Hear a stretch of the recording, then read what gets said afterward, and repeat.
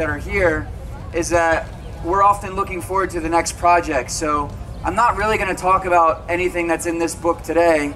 I'd rather show you some things that I'd like to put into the next book. So um, we're not going to talk about this one right now.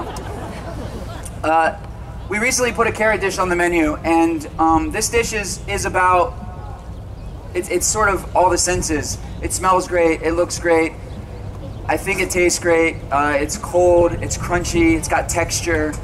It, the, the visual on this dish is, is pretty impressive, but the fact that the carrots um, you know, come from just 50 or 60 miles away from here really makes the dish. And so we found that going to the farmers markets and things like that has become very important for us and trying to cook food and trying to work with food and ingredients in a more responsible way. So um, we've got some beautiful carrots here.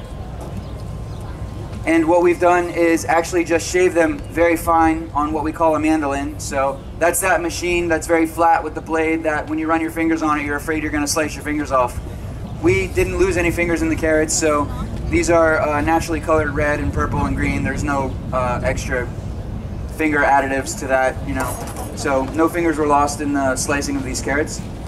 We um, really just let them sit and rolled them up into these little rings and they're raw. So we uh, really like when we can take vegetables that are so good that you really don't want to manipulate them too much. So then you have to put ingredients with the carrots that aren't going to take away from the integrity of the carrot themselves. So we put a few things together.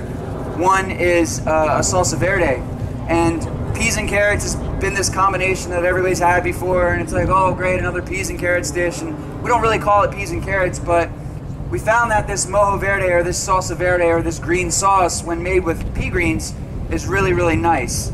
Usually it's made with parsley or cilantro, or we've got things called chimichurri that are very similar to this. So what we've got in this bottle is just the greens of peas blended with olive oil, some sherry vinegar, some salt, some garlic. Very simple, very basic. And that's the dressing for our carrots. So when we put this dish together, we start with the carrots. And this dish is actually on the menu in the restaurant now at, at Ink. Um, if Bryan sees this demo online or something, then I'm sure he'll copy the dish and put it on his restaurant menu at Volt. But we're not going to tell him about it. You can read about it in the next book.